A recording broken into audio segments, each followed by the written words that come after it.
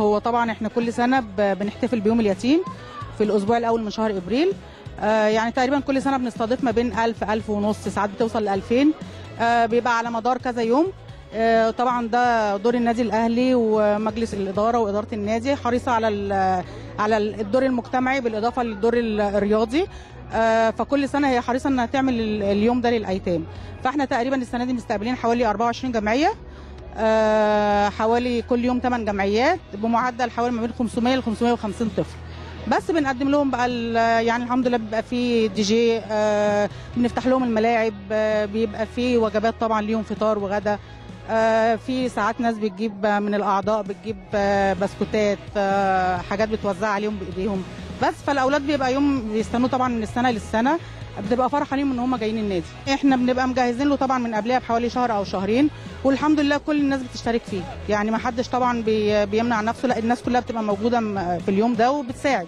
كل واحد بيساعد باللي يقدر عليه سيان بقى مساعدة يعني نفسية بيلعبوا مع الأطفال آه، بيبقوا مشتركين معاهم إنهم بيوزعوا عليهم الحاجات. بس فكله بيشترك يعني الحمد لله. والله بالنسبة لي أنا ببقى حريصة جدا على إن أنا أقدم الجواب للنادي كل سنة بقالي عشر سنين آه وبيوافقوا على حوالي 60 طفل.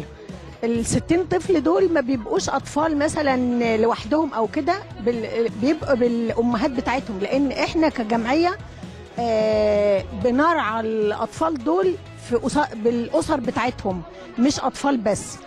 99% من الأسر دي بيبقى الأب مش موجود. يعني هم يتمى ولو الأب موجود في بعض الحالات عادة بيبقى مريض مرض آه، كبير يعني. إحنا بصراحة بيجي لنا دعوات كتير جدا. زي امبارح كان في ثلاث أماكن بس الأولاد من كتر إن ال- المكان مريح بالنسبة لهم جدا. وبقالهم عشر سنين هم بيجوا للنادي الأهلي وبيشوفهم الاستقبال. والحاجات الحلوة اللي بيقدموها لهم وإن المكان واسع قوي في الملاعب وفي بعض الأوقات بيجي لعيبة بي بيلعبوا معاهم ويتصوروا معاهم. فبالنسبة لهم النادي الأهلي ده من أجمل الأماكن اللي هم بيحبوا يروحوها كل سنة. إحنا لينا أكتر من 15 سنة بنشارك كل يوم آه، في يوم في الاحتفال بيوم اليتيم. ودايما حريصين إن يكون النادي الأهلي من ضمن ال- الجمعيات أو الأماكن اللي بنشارك فيها أطفالنا وزمايلنا.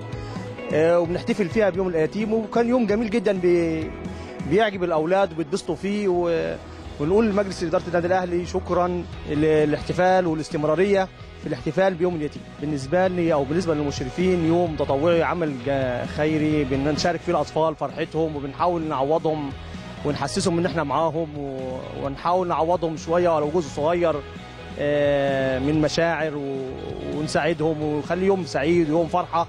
ونقول لهم إحنا موجودين معاكم مش ناسينكم. يوم جميل الصراحة مقضينه جميل وال- واللعيب والناس يعني هنا بي- بيحترمونا قوي وبيعملوا يخلونا اللي إحنا عايزين نعمله. وبنلعب وبنلعب في النوادي ويوم جميل يعني. جينا النهارده لعبنا كورة وأنا وأصحابي والمستر بتاعنا كان واقف معانا وكنا واقفين بنلعب يعني عادي. ده نادي الأهلي يعني ليه فخر كبير. أهلاوي والحمد لله. أنا طبعا أشكر الكابتن محمود الخطيب على تعاو- تعاونه معانا و... وعلى الجمع... على الحفله اللي هنا. ويا ريت بس هو يجي لنا عشان عايزين نشوفه. بس عادي بقى. واشكر طبعا النادي والجمعية والأعضاء لأنهم عملوا معانا شغل كبير الصراحة.